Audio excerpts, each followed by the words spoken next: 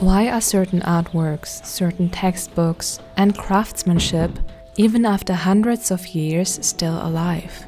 The spirit of eternity, breathed into us human beings, reminds us of our limited time on Earth. And it inspires certain people to strive with dedication to leave something long lasting. Today, I would like to introduce you to a gilding master who dedicated a big part of his life to the preservation and enhancement of artworks and to gilding, making things golden. The knowledge of gilding is so old, it was already used in ancient Egypt.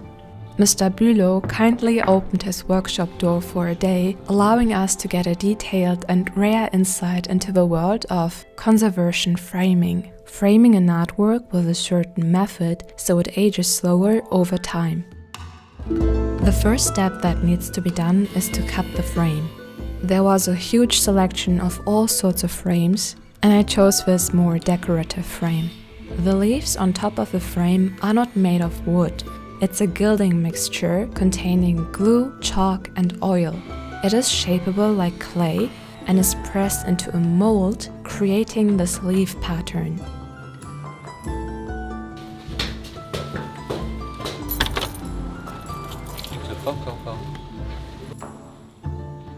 Now the individual parts will be glued together.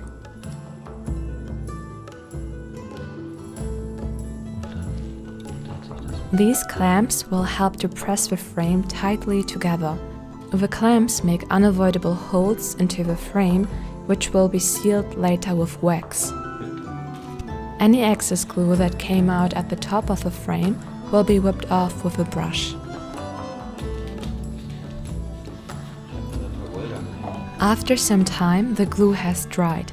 Any excess glue that sticks out from the bottom will be removed so it won't disturb later when we put in the fine art print. The clamps are being removed and we move on to the next room in his workshop. And there stands the frame stitching machine. Steel staples are shot from below into the frame. Now the frame is held together in two ways, with glue and staples. Each side will be stitched four times, making it specially secure. Then he sands every edge of the frame, so they are nicely rounded and fit cleanly together. Now the holes need to be filled with wax. The wax is soft and can be easily pressed in. This way, the holes from the clamp are no longer noticeable. I don't know why, I find this tool for glass cutting so cool I'm going to get this glass cutter too. This is leftover glass and he uses it as a palette to mix his own paint on it. Now a bronze paint is being prepared. Here are the pigments and it will be mixed with a binder to create paint. Paint always has two main ingredients, pigment and binder. This binder here is shellac dissolved in alcohol. Shellac is the secretion of a lac bug. The binder is now being mixed with gold bronze pigment and a little bit of green to match it with the frame color.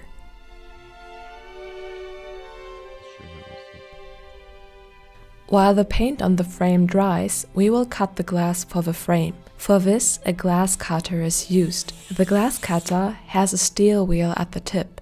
It is rolled over the surface of a glass to create a cutting line. And then it can be easily split like this. Now we take care of a passe-partout that consists of two paperboards that hold and protect the artwork. Mr. Bülow owns a special machine for this in his workshop, and with this machine you can cut precisely any geometrical shape you desire. This is the back side of a passe-partout, and now we need the front side. There is a wide range of different colors you can select from when you go to your framer, and you usually take a white tone, But as you know me, this is my first framed fine art print and I really wanted to have a soft and warm pink tone. I also got recommended to choose a more simple frame because a decorative frame can draw too much attention from the artwork itself. But I just saw these more decorative frames and I just fell in love and I believe a frame can also support the storytelling of an artwork. It absolutely depends on your personal preferences and you can choose whatever you want to. There's no wrong and right. What also is really impressive about this machine is that you can adjust the angle of a cut. The front of a Passepartout is cut at a 45 degree angle for aesthetic reasons. Now the print needs to be secured between the two paperboards.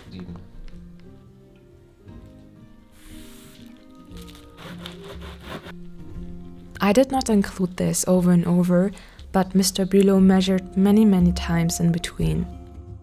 This tape is called wet adhesive tape. It is coated with a special glue, which gets activated when it gets moisturized. Any excess water is removed with a paper towel or the fingertips. It shouldn't be too wet. Now two stripes are attached to the print and these stripes are then glued to the paperboard. It is recommended to use acid-free wet adhesive paper. Regular glue weakens over time and then the print falls down. Adhesive tape can only be removed when it gets wet. It does not lose its adhesive strength over time like regular glue. Ta-da! So pretty. I love a pink. Now the glass will be cleaned with a solvent containing alcohol and distilled water. If you want artworks to last a long time, several hundreds of years, like these original Albrecht Dürer prints, which are 500 years old, you have to use materials that are age resistant. Acid free is an important term in this context. For example, my prints are also printed on acid-free paper. The vibrant colors will stay for over 300 years and Mr. Bülow always makes sure that all materials he uses are acid-free. Otherwise, the acid kinda destroys the artwork over time. The paper weakens and it gets brownish and yellow. It discolorates the artwork.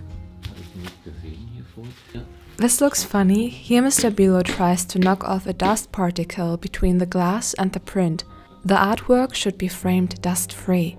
It's just inspiring how much effort and care he puts in. There was also something sticking to the glass and he opened the whole thing up, scraped it off the glass and put it back together. I've chosen a glass that doesn't reflect and has a UV protection. This is all extremely fancy, but I thought I just want to show you something really special and I selected very high quality materials. Also, original oil paintings get this type of glass. Paintings in museums get two layers of this glass held together by a film. If something damages the glass, the pieces of the glass will stick to the film and not damage the artwork. Mr. Bülow usually works on up to 10 frames at the same time for a few days, but for us he took a day off so I could film the whole process in one day.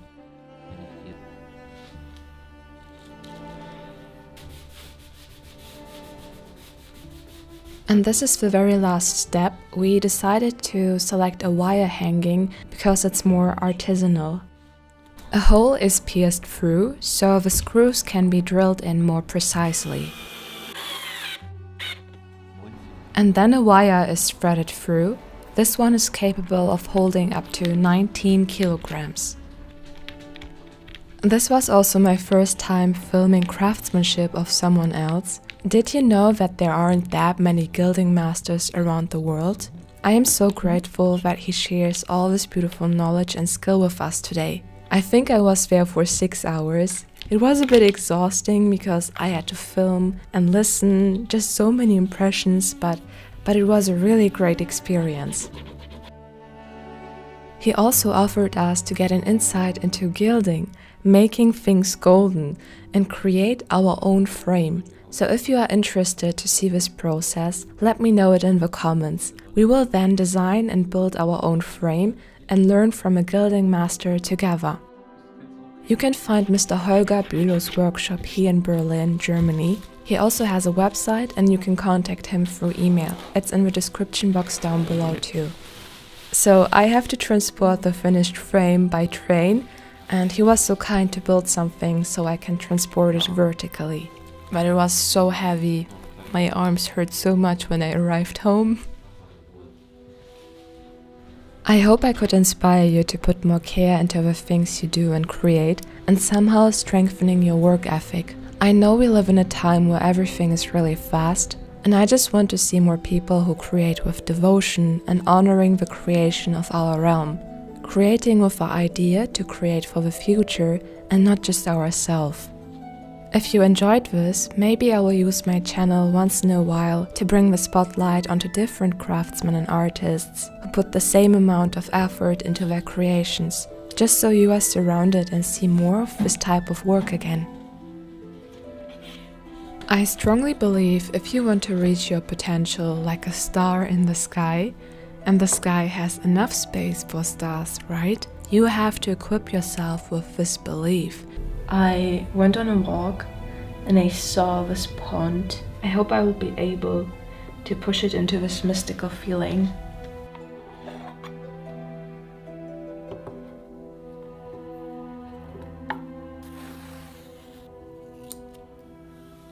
You have to equip yourself with values, a guide for your behavior and decision making. For example, honesty, integrity, respect, what do you see in people that you desire to be as well? Why is someone so magnetic? And it's not easy to walk this path because there is no immediate reward. And some days you can't even recognize a sign even though you are on the right way. And you see others do something totally different and you ask yourself, why do I do it the hard way? And you begin to question yourself. It can take years or decades until you see the first fruits of your effort. But I promise you, it's something long lasting and you will be proud of it like nothing else. Okay, the sky is going to be orange, pink, and yellow, and I have to clean up my palette because this green and blue is the contrast, and if I don't clean it, it's going to get muddy, and we want a nice and clean sky. The sky is something truly magnificent, and I try to honor and learn from the beauty of nature. I am always very focused on the figure, on human beings, but I feel this urge to try to bring environments, nature, onto paper. I'm not really used to this, so it got too much for me and I needed a break. And I'm slowly beginning to socialize again, and sometimes I like to visit my friend Silke when I do some errands in the city. Some of you might remember Silke, the store owner from who I bought my magician hat. I love the things she selects for her store, and I got this feather pen and a weekly planner. And this is the weekly planner. I love being organized or organizing things. Also on that day, two print orders came in from my store, valerielin.com, and I just tried to immediately pack your orders. This one goes to the US, and this one goes to Poland. the beginning of December, I will release this painting as a print edition. It will be a timed edition, that means it's just available for a few days to purchase, and then it will be gone forever. There will be two sizes, the usual big size, but also a smaller and more affordable size because I want you to be able to afford a beautiful fine art print for your home or as a present. The name of this print will be Alice in Wonderland because this girl is in her own created wonderland and also she's reading a book and there's so much about Alice in Wonderland. If you don't want to miss this print, sign up to my newsletter. You can find the link in the description box down below or go to valerielin.com. Also follow me on Instagram and turn on the notification bell of this YouTube channel. Once I release a new YouTube video, you will be able to buy this print for a few days. This is also my first time painting an imaginative scene, a whole landscape with this building that I tried to sketch first on this paper.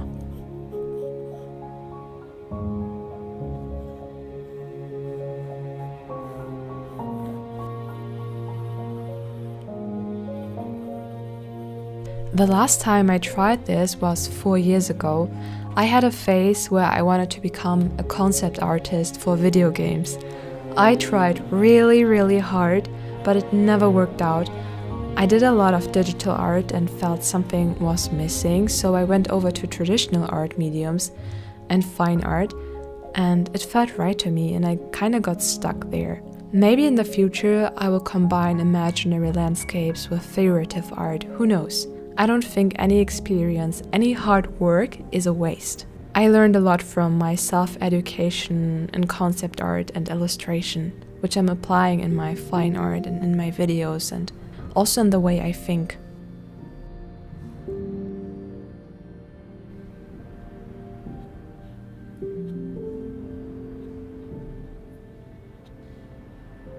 Here's a funny story. When I was a child, I secretly cried because I thought our realm is so boring. I saw these movies, animes, books, and video games, and I was just disappointed. My mom caught me crying now and then, and she said, My daughter, why are you crying? and I couldn't say it because I felt ashamed. Surprisingly, I don't think this way anymore. I believe this life is way more exciting Figuring out rules of life and gaining skills and encountering people is way more exciting. Of course, when you sit there and only observe, anything else is boring. Because I don't go outside, I don't create things. Create things and experience life, I promise you, you will be so proud of yourself. And movies, animes, video games, books are based on our real life, on human experience. I added these small trees to make the building appear bigger. You usually add some figures or birds in the sky for that, but I wanted to be an empty place. so this was a real challenge. And I was like, okay, I have these chaotic trees and how can I make this place a bit more exciting? And I know it's not the best work I have created, but I think we must allow us and give us some space for exploration. We are dual beings, and I think as an artist, you should take it serious, but also at the same time with a lightness. This is a paradox, I know, but everything is a paradox. I might destroy it, but I really want to see I make it a bit darker, what happens? Speaking of duality, I think there's also something we artists learn through the time to see the outer world, but also to include our inner world. There is something that tells us using different colors and shapes and like a certain feeling that we put into our artworks and I feel it's connected also to imaginative paintings like how can a human being create such beautiful imaginative scenes? And, and this is something I really adore in other artists and I hope I will get better in the future and I hope I could inspire you. And remember creation begins with a thought